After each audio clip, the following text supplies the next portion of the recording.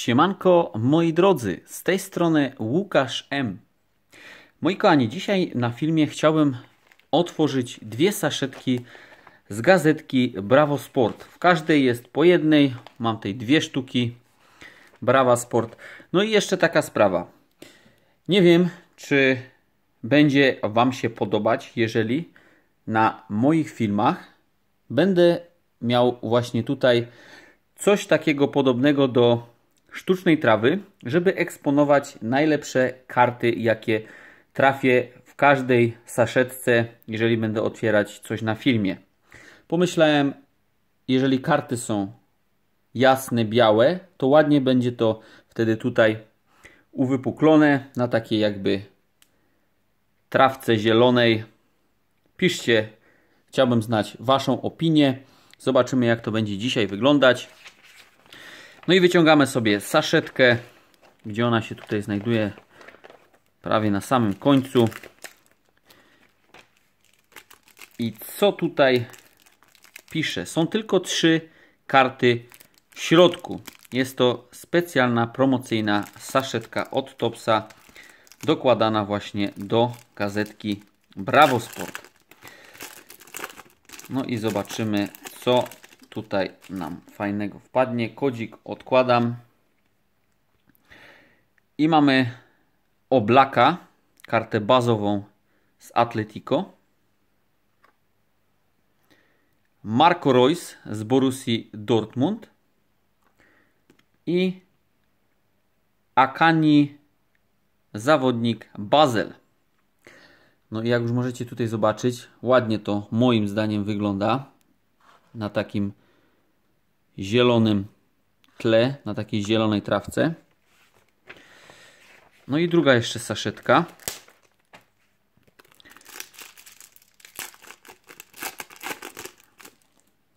No, kodzik, chyba już żeście widzieli. E, Bernardeschi z Juventusu.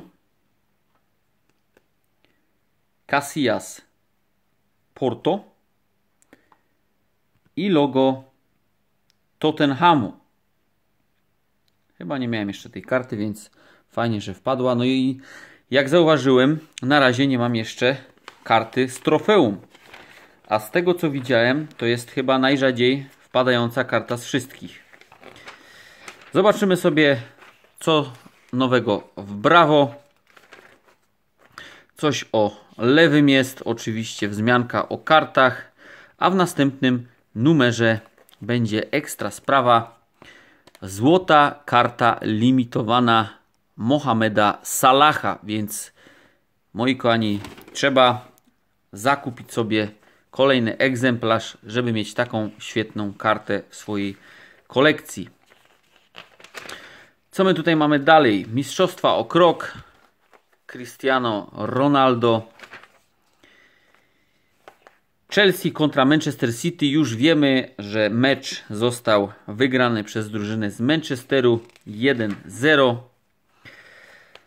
O, tutaj jest również wzmianka na temat kart Champions League. Plakaciki jak zawsze.